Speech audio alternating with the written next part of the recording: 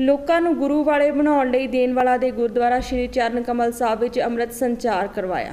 ਅੱਜ ਦੀ ਨੌਜਵਾਨ ਪੀੜ੍ਹੀ ਪਤਿਤ ਪੁਣੇ ਵਿੱਚ ਜਾ ਰਹੀ ਹੈ ਤੇ ਸਿੱਖੀ ਵੱਲੋਂ ਦੂਰ ਹੁੰਦੀ ਜਾ ਰਹੀ ਹੈ। ਇਸ ਦੇ ਚੱਲਦੇ ਨੌਜਵਾਨ ਅਤੇ ਲੋਕਾਂ ਨੂੰ ਗੁਰੂ ਵਾਲੇ ਬਣਾਉਣ ਲਈ ਦੇਣ ਵਾਲਾ ਦੇ ਗੁਰਦੁਆਰਾ ਸ਼੍ਰੀ ਚਰਨ ਕਮਲ ਸਾਹਿਬ ਵਿੱਚ ਅੰਮ੍ਰਿਤ ਸੰਚਾਰ ਕਰਵਾਇਆ ਗਿਆ।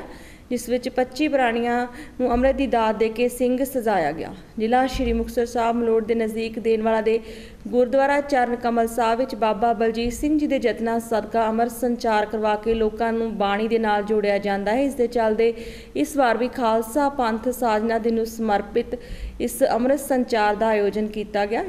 ਇਸ ਮੌਕੇ ਪੰਜ ਪਿਆਰਿਆਂ ਵੱਲੋਂ 25 ਦੇ ਕਰੀਬ ਪ੍ਰਾਣੀਆਂ ਨੂੰ ਅੰਮ੍ਰਿਤ ਦੀ ਦਾਤ ਦੇ ਕੇ ਸਿੰਘ ਸਾਜਿਆ ਗਿਆ। ਏਕ ਓੰਕਾਰ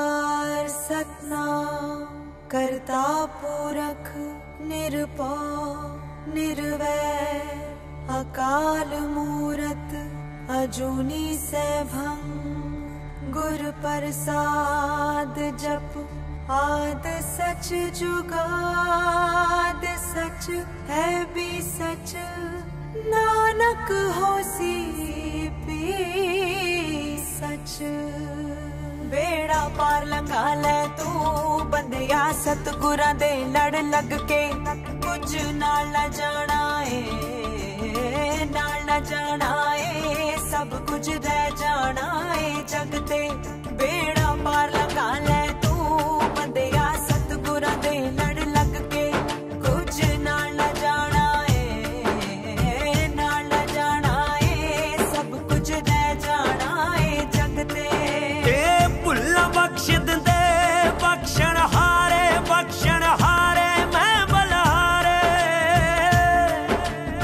ਮੇਰੇ ਸਾਹਿਬ ਦੇ ਰੰਗ ਨਿਆਰੇ ਰੰਗ ਨਿਆਰੇ ਮਜਾਂ ਵਾਹਿਗੁਰੂ ਜੀ ਕਾ ਖਾਲਸਾ, ਵਾਹਿਗੁਰੂ ਜੀ ਕੀ ਫਤਿਹ।